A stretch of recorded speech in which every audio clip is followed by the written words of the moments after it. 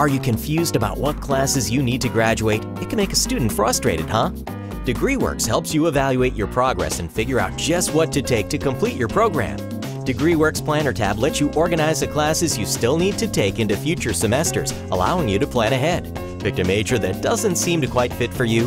Wish you had an easier way to figure out your options? DegreeWorks offers a what if feature that shows you how long it would take to graduate if you changed majors. For more information about DegreeWorks, speak to your advisor.